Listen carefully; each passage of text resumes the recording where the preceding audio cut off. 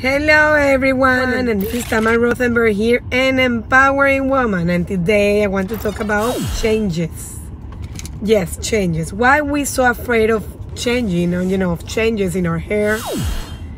So as you see, I post many different posts about my hair. I'm starting just to change it a little bit, a little bit curly because it's the end of the summer. Sometimes when we do any changes in our lives, we are so much afraid. Why why is that that we are afraid of? Uh, what is it that keep our attention to be afraid of changes? Like if i change my hairstyle people won't like to me anymore. People will look at me different. They'll think something is happening to me. Um, why uh, people is afraid about changing? Why we are so used to be in comfortable mode? And what is the relation between changes and and and uh, comfort zone? So is changes related to get out of your comfort zone? Of course. We need to change to be out of our comfort zones every time, every now and then. As long as we are comfortable again, we have to change again to be, to push ourselves out of the comfort zone. So that's what I wanted to talk about. I wanted to talk about some changes. Eh, sometimes it's very difficult to start doing some changes, or maybe the changes are happening to us even if we, we are not planning. I mean, sometimes you know, we're getting into situations in our lives, uh, sad situations, happy situations. We, we have to move from a, an apartment to a house or an house to an apartment. You know, we have to, de- de- depending on the stage of our lives.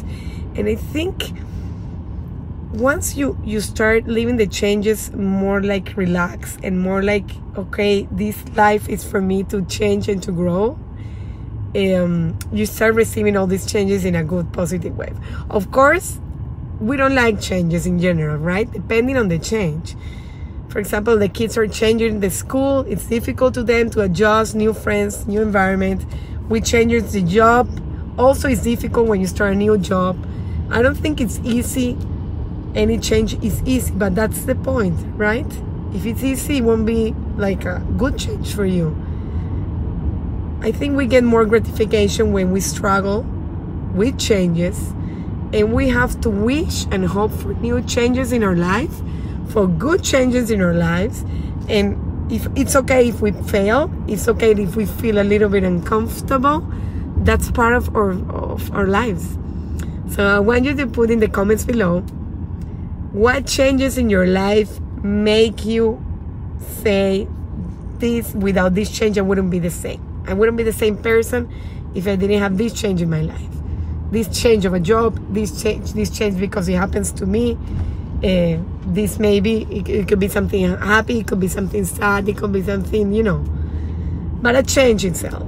So I want that you comment me below to see what changes in your face. I face changes every day in my life, and I I try to see the positive sides of the changes. Although I won't lie to you, sometimes saying what is this going on why i have so many changes in my life but i try to look at the positive way and say you know with the changes we grow and it's good because if everything will be the same it will be so so boring so we need changes we need to work on changes we need to grow with changes and this is Tamar Rothenberg here in Empowering Woman. I'm a life coach. I'm here for you. Bye bye.